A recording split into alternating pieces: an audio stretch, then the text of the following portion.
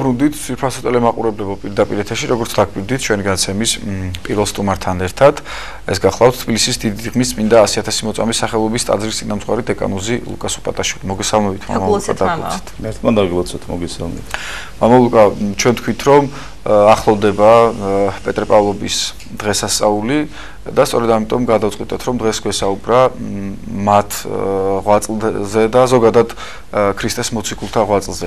ალბათ იმაში სტამეთახმებით თქვენს და ტელემაყურებელიც რომ ძალიან ძნელია ასეთ მცირე დროში მათ ხვაწლზე საუბარი, თუმცა ჩვენ მაინც შევეცადოთ რომ კიდევ ერთხელ შევახსენოთ ჩვენ ტელემაყურებელს მათი ცხოვრება და მოღვაწეობა. პირველ რიგში ჩვენი საუბარი დავიწყოთ პეტრეს და პავლეს პავლეზე, ანუ რა ნიშნით არიან ისინი გამორჩეულნი, ვთქვათ, და რატომ იწოდებიან მოციქულთა თავად. პირველ რიგში წინასწარ გილოცავთ ამ წინვალე დღის მოახლოებას და ნუ ქართველებს ბევრი სიტყვა გვაქვს იმისათვის რომ ფაქტი წარმოვაჩინოთ. Ну აი რომ შევკრიბოთ ეს ბრწყინო და წარმოვადგინოთ ეს არის ბრწყინვალე ადამიანები დიდი თვისებების მქონე ადამიანები. რომელთათვის რომელთა პიროვნებაშიც მთავარი მაინც ეს არის ღმერთის უსაზღვროთ ერთგულება. პავლე ერთ-ერთ ეპისტოლეში აბრძანებს, რომ მე კი აღარა ვარო ცოცხალიო, არამედ ქრისტიანიო, ჩემში ცოცხალიო.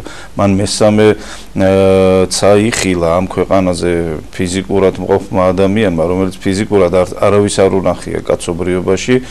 და განსაკუთრებული პიროვნებები არიან ისინი. ისინი მთლიანად უფალს ეკუთვნოდნენ და გარკვეულწილად კი არა, მთლიანად ისინი ეტალონი არიან, როგორ უნდა გარდაიქნას ადამიანი წარმართობიდან ღვთისმოყარეობამდე და ღვთისნიერობამდე. ჩვენს ქართველებსაც ხო გვაქვთ აი ღვთისნიერი ადამიანი, ანუ ღმერთისნაირი ადამიანი. აი პეტრეცა და პავლეც იყვნენ ღმერთისნაირი ადამიანები და ამიტომ ისინი აი სამაგალითონი არიან დღესაც და იწოდებიან თავმოციქულებად. ყველა მოციქული განსაკუთრებულია, ისე როგორც ყველა ადამიანია განსაკუთრებული, მაგრამ ადამიანი რომელიც ღმერთის ერთგულებას იწყებს, რა თქმა უნდა, ისიც ინდივიდუალურია. ჩვენ ყველანი ერთმანეთს ვგავართ რაღაცა ნიშნებით, მაგრამ რაღაცა ნიშნებით ჩვენ ვართ ინდივიდუალური, ანუ რომელთაც ჩვენ არავის არ ვგავართ. აი ასეთი იყვნენ მოციქულებიც, რა თქმა უნდა და მოციქულთა შორის ბრწყინვალენი იყვნენ პეტრე და პავლე. მათ შეიძლება ითქვას, რომ ძალიან დიდი დევნა და ძალიან დიდი სიმტკიცე გამოაჩინეს, ისევე როგორც ყველა მოციქულებმა, მაგრამ აი პავლესავით არავინ არ გვემულა, პეტრესავით, ასე თქვა ბიოგრაფია არც ერთ მოციქულს არ ქონია, რომელმაც დაცემაც კი განიცადა ქრისტეს უარყოფა და მე მისი ერთგულება. ამიტომ ყველა ადამიანი განსაკუთრებულია, მაგრამ ეს ორი მოციქული მაინც ეკლესიამ გამოარჩია იმისათვის, რომ ჩვენ ესე იგი ნათელი წარმოდგენა შევიქნათ, როგორი უნდა იყოს ადამიანი თავისი სისუსტეებით როგორია და როგორი შეიძლება იყოს შემდგომში. მამა, აი საინტერესო იქნება ახსენეთ თქვენ, რომ პავლეს რამდენიც დაითმინა ისეთი არც იმდენი არც ერთ მოციქულს არ დაუთმენია, რისი დათმენა უწევდათ ზოგადად ქრისტეს მქადაგებლებს და რამდენად ესეთი იყვნენ წმენაში ძლიერნი, რომ ამ ყოველფერს ადვილად იტანდნენ. ესე იგი ადამიანი რომელიც წარმატებას აღწევს ის არის განსაკუთრებული პიროვნება და ეს განსაკუთრებულობა ჩანს სამი მიმართულებით. პირველი და ყველაზე მთავარი ადამიანმა საკუთარი ცუდი თვისებები და ქვენაგრძნობები უნდა დაძლიოს და ამაღლდეს ღმერთამდე და შეასრულოს ის ღვთის სიტყვა რომელსაც ღმერთი ჩვენ გვაძლევს. ეს ყველაზე მთავარია. ამის შემდგომ თქვათ იგივე პავლე მოციქული თავის ერთ-ერთ ეპისტოლეში კორინთელებს ეუბნება რომ მეო დავაპირეო თქვენთან მოსვლაო რამდენჯერმე მაგრამ ეშმაკმა დამაბრკოლაო და და სხვა შემთხვევაშიც ამბობს რომ ღმერთმა დიდი მადლი მომცაო მაგრამო აი მომცაო ანგელოს სატან სატანაო რომელიც მე მქენჯნისო და ასე თქვათ ფიზიკურად უძლურებაში მომყოფებსო ეს მეორე ვთქვათ ბოროტიძალის გამოვლენილი დიდი წინააღმდეგობები და მესამე ადამიანთაგან და პავლე მოციქულის რომ ვახსენე ეპისტოლე ერთ-ერთში როდესაც თვითონ ამბობს რომ ვთქვათ ჩაკოლეს კიდეც სამჯერ ნავი ჩაეძირა და თვითონაც ჩაიძირა და ნუ რა სასწაულებრივად იქნა გადარჩენილი მრავალი ვნება მიიღო მან როგორც ქადაგების დროს ისე ახლობელთაგან და ასე შემდგომ. თავი დამცირება და შეურაცხყოფა. არა, ეს მუდმივი თანამდევი იყო. ღვთის სიტყვის მქადაგებელისათვის როგორც აი ქართველებს გვაქვს ნათქვამი სიმართლის მთქმელსო ცხენი შეკაზმული უნდა ყავდესო აი იმიტომ რომ ესე იგი მუდმივად დევნას განიცდის ადამიანი რომელიც პირველად ქადაგებს სიტყვას ღვთისას და ჩვენ ვიცით რომ ყველა მოციქული გარდა იოანე מחარებელისა აღესრულა ესეთი ძალადობით და ძალადობის ხრებით გავხდნენ და ისინი მოწამეები არიან. ზოგი ჯვარსაცვეს ზოგი აწამეს ზოგი ჩაქოლეს და ეს. ეთილი ჩვენ მოციქულებზე საუბრობთ ლუკა და ბუნებრივი იქნება ალბათ რომ შევახსენოთ კიდევ ერთხელ ჩვენ ტელემაყურებელს როგორ მოხდა ზოგადად მათი გამორჩევა ქრისტეს მიერ რას მოგვითხრობს მათ შესახებ საქმე მოციქულთა და ყველაზე მთავარი ვინ იყვნენ ის ადამიანები ვინც ქრისტემ გამოარჩია? პირველად ალბათ პეტრე მოციქულს უნდა შევეხოთ რამე თუ იგი რიგით პირველია და ჩვენ ვიცით რომ პეტრე არის ანდრია პირველწოდებულის ძმა მადლობა ღმერთს ჩვენი ერი ანდრია პირველწოდებულის ნაკადაგებზეა დგას და ჩვენი საძირკველი არის მისგან ნაკადაგები და მიღებული. ჩვენ მივიღეთ ანდრია პირველწოდებული და ჩვენ ვიცით რომ 38 წელს ჩვენი წელთაღრიცხვით დიდაჭარაში და სოფელ აწყურში აშენდა ტაძარი.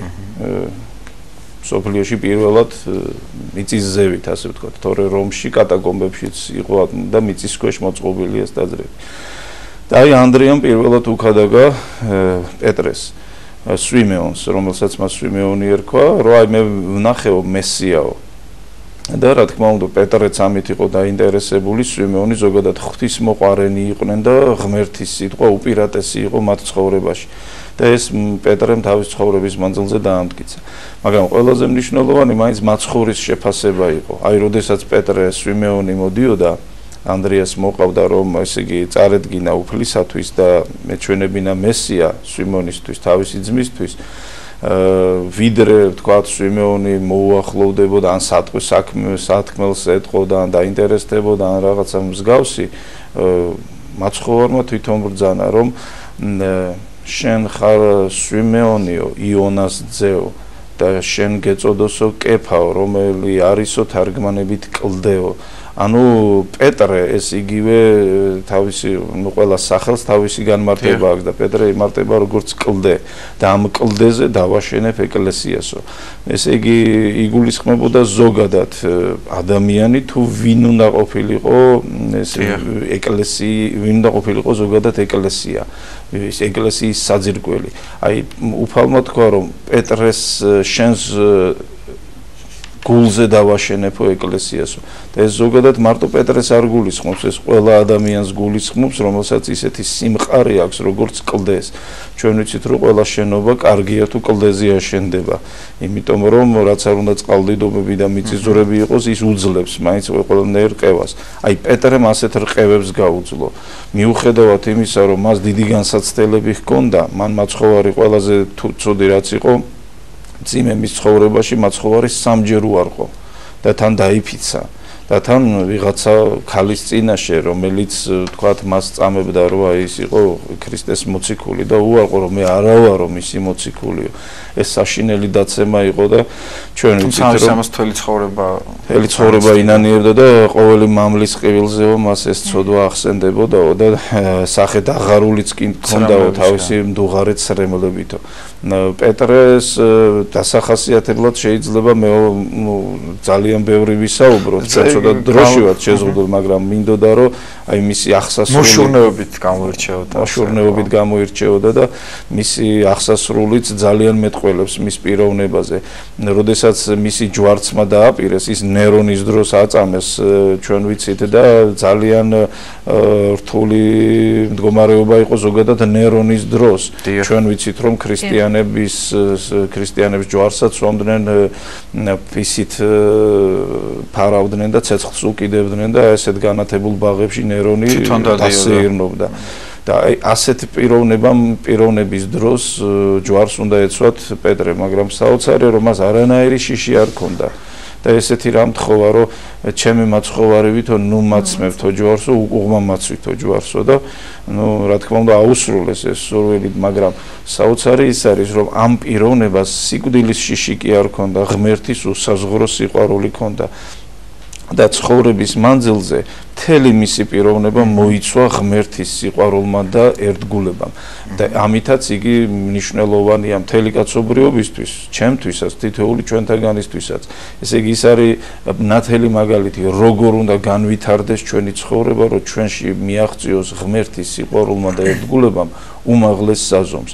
თუმცა როგორც პეტრესთვის, ისე ჩვენთვისაც დამახასიათებელია გარკვეული სისუსტეები, მაგრამ როდესაც სულიწმინდა გადმოდის და ღმერთის ერთგულებით ცხოვრობთ, ისეთი ძალით იმოსება ადამიანი, რომელიც ძალიან დიდ სიხარულს და ძალას პოვებს თავის თავში ღმერთთან ურთიერთობისა, რომლის ძალითაც მას ყველაფერი შეუძლია. პავლე მოციქულსაც თუ შევეხებით მე შენდობას ვითხოვ პეტრე მოციქულის ასე მწირი დახასიათებისთვის რახან დროში ვართ შეზღუდული მაგრამ ჩვენ შეგვიძლია მის გარკვეულ თვისებებს დაუბრუნდეთ.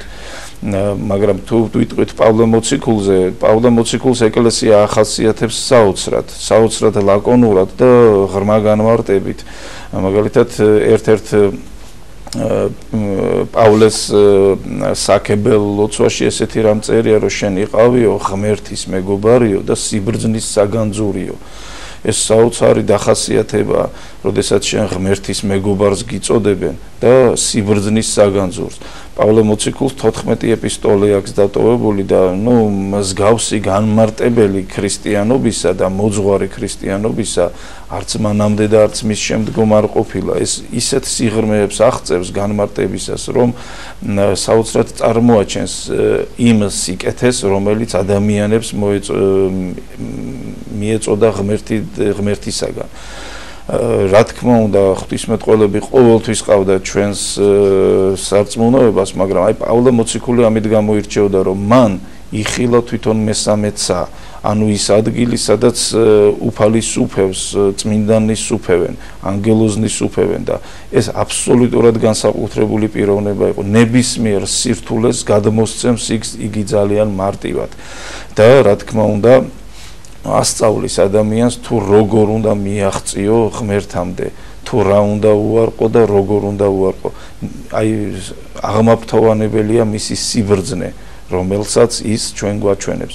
ამასთანავე უნდა ითქვას რომ იგი დაიბადა იგი რომის მოქალაქე იყო თუმცა იუდეველი იყო სარწმუნოებით ფარისეველთა ფარის ფარისეველი იყო იგი და უსაზღროდ დიდი სიბრძნე ჰქონდა მიღებული.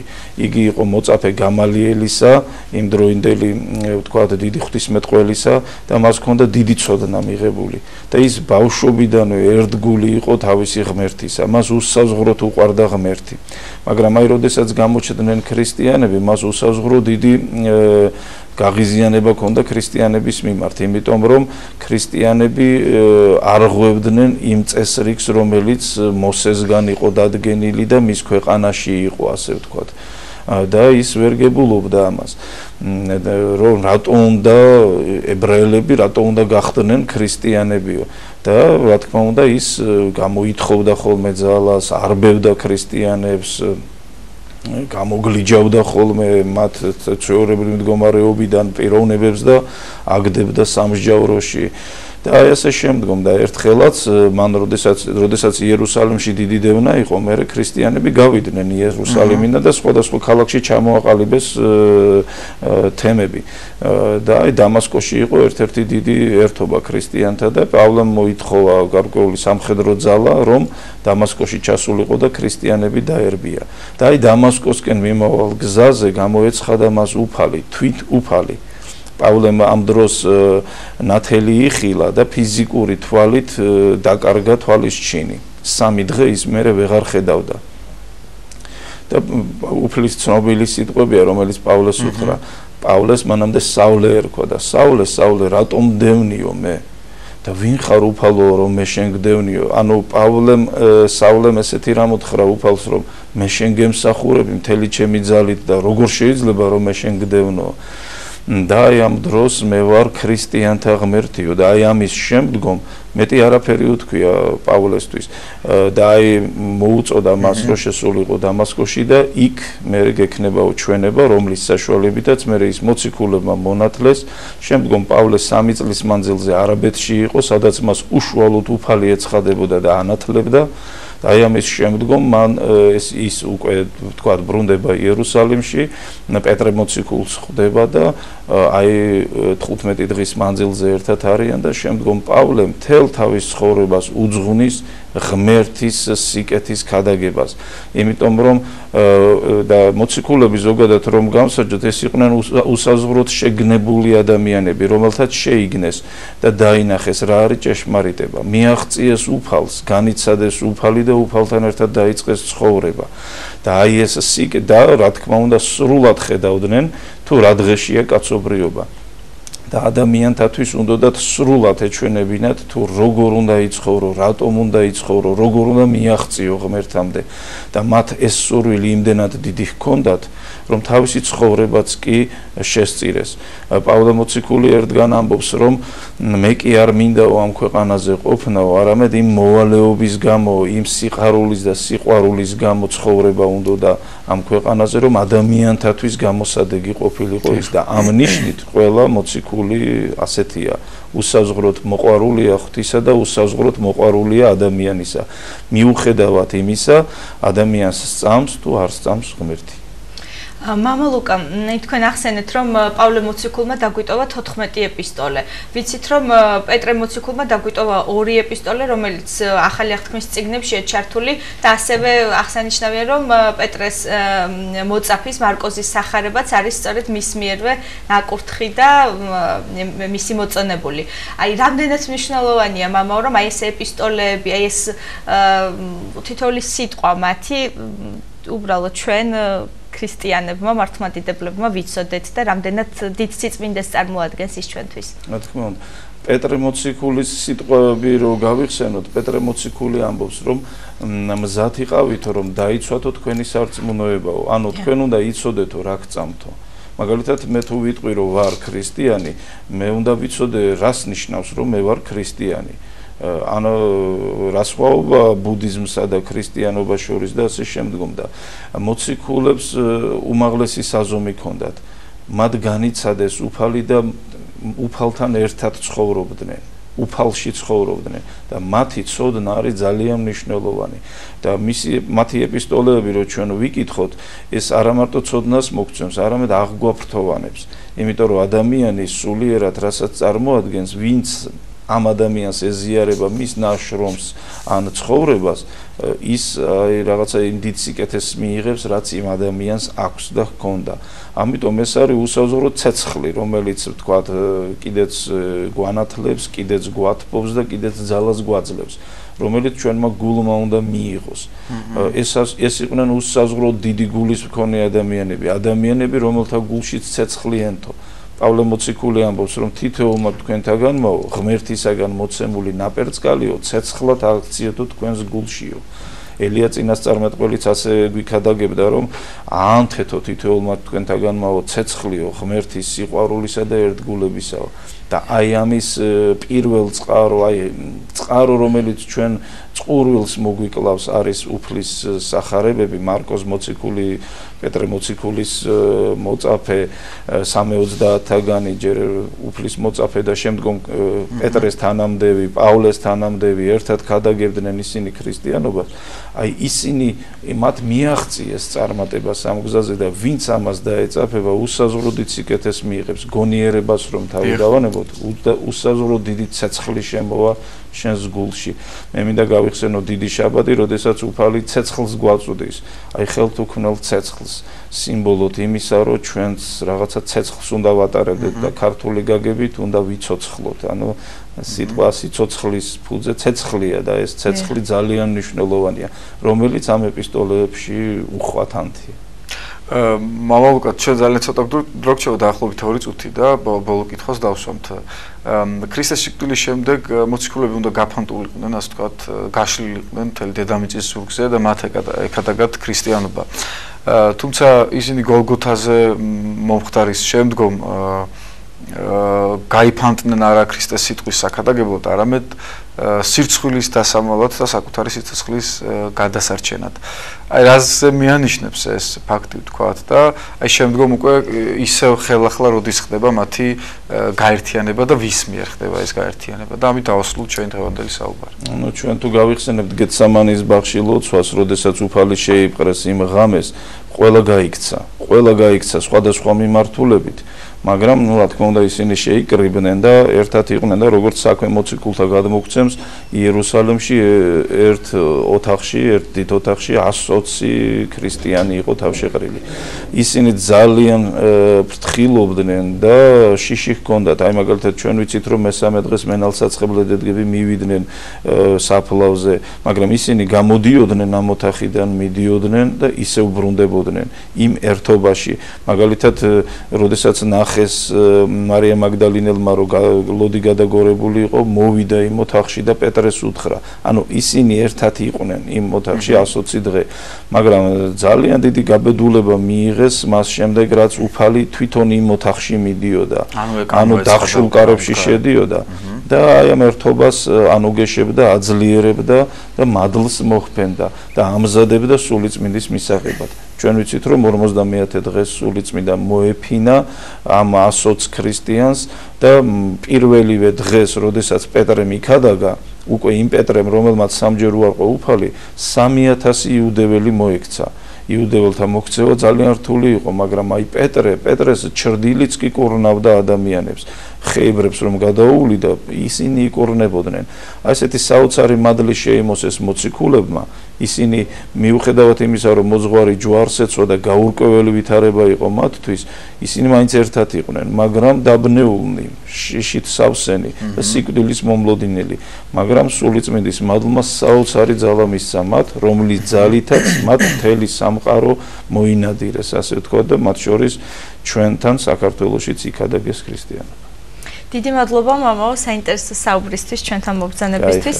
ერთმა დაგვიწო და მრავალს დაგვასწროს. ასევე მოგილოცავთ წინასწარ ჩვენ ტელემაყურებელს შევახსენებ მოციქულთა ღვაწლზე საუბრობდა დიდი დიდმის 100000 მოწამის სახელობის ტაძრის წინამძღვარი დეკანოზი ლუკას უპატაშვილი.